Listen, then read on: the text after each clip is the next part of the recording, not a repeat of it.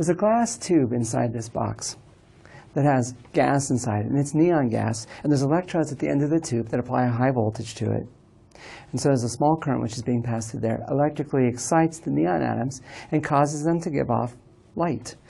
And neon gas has a very, very particular spectrum. It produces this wonderful red color, which is why it's used in signs. Gives you a lovely, lovely color. Different gases have different spectra and different colors. This is neon, very, very pretty. We're going to look at another gas, and the gas we're going to look at today, not as pretty, but much more important in terms of the development of quantum mechanics, and also much easier for us to make calculations on. This tube is hydrogen gas. And the hydrogen gas has more of a kind of a purple cast, a little red, a little bit of blue. And we're going to look at the quantum states of the hydrogen atom and how they explain the appearance of the light that we see.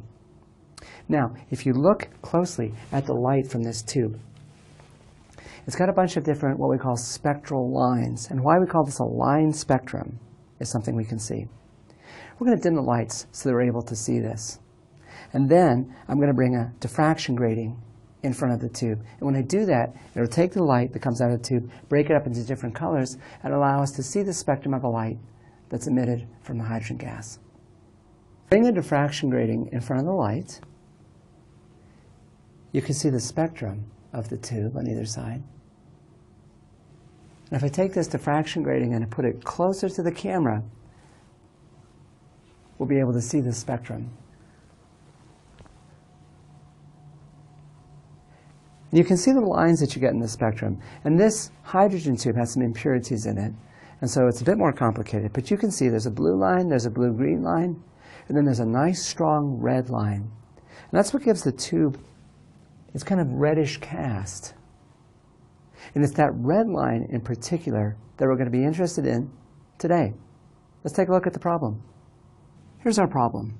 What are the energies, electron volts, of the lowest six energy levels of the hydrogen atom? The red line in the hydrogen spectrum has a wavelength of 656 nanometers. What are the principal quantum numbers for the initial and final electron states of the transition? Well, we have two parts to this problem. First off, we're going to calculate the energies in electron volts of the lowest six energy levels for a hydrogen atom. So we'll do that. After we've done that, we're going to try to find the principal quantum numbers for the initial and final electron states for a transition that corresponds to the emission of a photon of 656 nanometers. In this problem, we're going to be working with energy level states in electron volts. So we're going to convert the photon energy to electron volts. Now our basic equation for photon energies is this. The energy of the photon is equal to h times c divided by lambda. The usual value of Planck's constant that we have is in joules times seconds, but we have a value for it that's in electron volts seconds. And if we use this value, and that's 4.13 times 10 to negative 15th electron volts seconds, if we use that value, we'll end up calculating photon energy in not joules, but electron volts. So let's do that. 656 nanometers. So the energy of the photon is equal to Planck's constant, and we're going to use the value in electron volts seconds, 4.13 times 10 to the minus 15th electron volts seconds, times the speed of light, which is 3 times 10 to the 8th meters per second, divided by the wavelength, and we need to put that in meters, of course, and the wavelength of the red line in the spectrum that we need to consider is 656 times 10 to the minus 9th meters. We can check our units in this equation, and they cancel. We have meters that cancel. We have seconds cancels with 1 over seconds. And we're left with just electron volts. And so if we do that, we calculate a photon energy of 1.89 electron volts.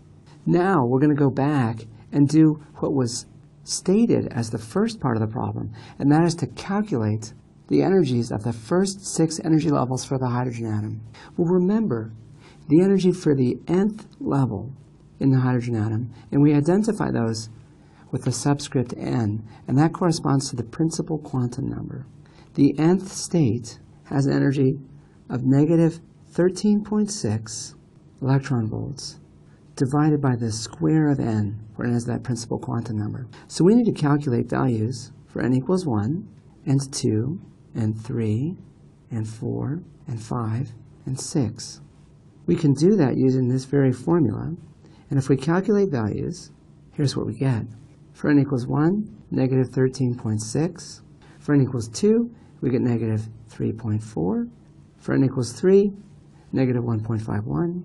For energy level 4, negative 0.85. For energy level 5, negative 0.54. And for energy level 6, negative 0.38. Now these are all negative because they're all below zero. This table is nice, but it's better if we can represent this visually, set of energy level states for the hydrogen atom. And if we do it, here's what we get. Okay, our lowest energy level corresponds to n equals 1, and that's at an energy of negative 13.6 electron volts. That corresponds to n equals 1. Higher values of n correspond to higher energies. So n equals 2 has an energy of negative 3.4. n equals 3 corresponds to an energy level of negative 1.51. Still negative, but less negative, and so it's higher. And n equals 4, we can go ahead and put that one in. That corresponds to an energy of negative 0.85. And that's enough for right now. We know if an electron drops from one energy state to another state, it gives off a photon, and the energy of the photon is equal to the difference in energy between the two states. So we're looking not at the energy levels themselves, but the difference in the energy levels. Well, we need to come up with a difference in energy levels that corresponds to an, a photon energy of 1.89 electron volts. That's what corresponds to the red line in hydrogen that we're looking at in this problem. So what energy states will we look at to produce that energy difference? We'll give you some choices. We know that we can't possibly be looking at an energy level transition that goes down into this lowest possible energy state. That can't possibly be true because that sits at negative 13.6 electron volts. So any transition is going to have energies much, much more than the photon energy we're looking at.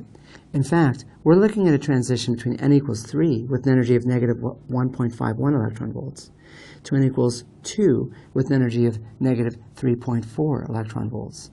When an electron drops from n equals 3 to n equals 2, the difference in energy, and that's E3 minus E2, that difference in energy is negative 1.51 electron volts minus 3.4 electron volts, which is simply 1.89 electron volts. And that difference is exactly equal to the photon energy. So we are looking at, in this case, a transition from n equals 3 down to n equals 2. That transition produces a photon of energy 1.89 electron volts, which is in fact in the red part of the spectrum. Let's assess our calculation. We calculated an energy of photons emitted by hydrogen. And by the way, that energy corresponds to a wavelength and the way you measure the wavelength is by using a diffraction grating and actually calculating it. If we measure the wavelength, calculate a value for it, we get exactly the number that you were given in the problem. We get 656 nanometers. So the red line has a value of 656 nanometers. We calculated an energy corresponding to those photons. Separately, we calculated the energy level states for the hydrogen atom. And we found the number that we got for the photon energy corresponded to an exact difference between two energy states of the hydrogen atom. And that exact correspondence between the photon energy and the difference in energy states gives us confidence that the calculation that we made was correct because we came up with one value for energy two different ways. And the number that we have for the photon energy is a number that's based on a real physical measurement. And so ultimately, everything's tied back to a real physical measurement about the world, which is as it should be. Physics is about the world around us.